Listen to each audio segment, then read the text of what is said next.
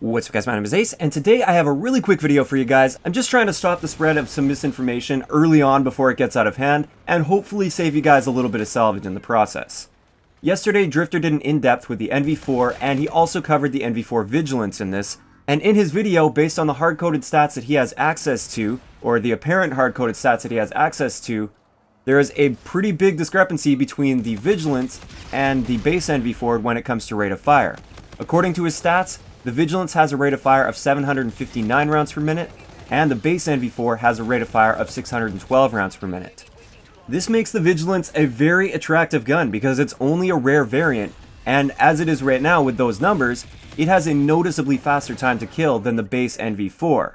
So a lot of people were rushing out to spend salvage on this, and they were buying the NV4 Vigilance, but unfortunately, these numbers simply aren't true. You can hand test this in the game for yourself, but I did the hand testing here, and as you can see, both the base NV4 as well as the Vigilance have identical rates of fire.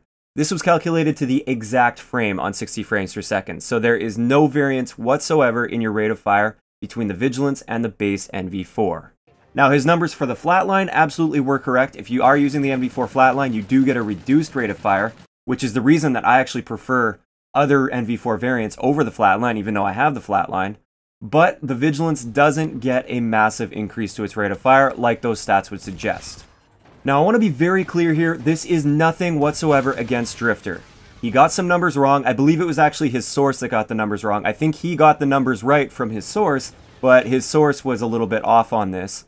And I'm just trying to get the most accurate numbers out there in the community as possible so that people can make informed decisions when they're spending their salvage. So again, nothing against Drifter whatsoever. People make mistakes. I make mistakes sometimes. And if I make mistakes, I would appreciate it if somebody else were to point it out as well. So that's all I'm doing here. Just trying to give you guys the right information. I hope you enjoyed the video, and I'll talk to you guys next time.